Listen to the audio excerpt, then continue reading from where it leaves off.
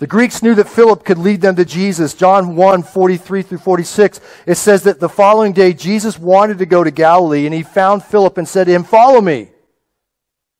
Now Philip was from Bethsaida, of the city of Andrew and Peter. Philip found Nathanael and said to him, We have found him of whom Moses and the law and also the prophets wrote, Jesus of Nazareth, the son of Joseph. In other words, we found the Messiah. And Nathanael said to him, just like maybe that person you work with, Can anything good come out of Nazareth? You know, the skeptic that's maybe your neighbor across the street or the person you did share Christ with, and they just kind of like, No, I don't need to hear this. Philip said to him, Come and see. Don't be discouraged by the skepticism. Philip says, Come and see. Philip had an encounter with the Lord that changed him. In a moment, God's presence redirected him. Encounter brought Philip into relationship and destiny, and encounter is still bringing people into relationship and destiny today.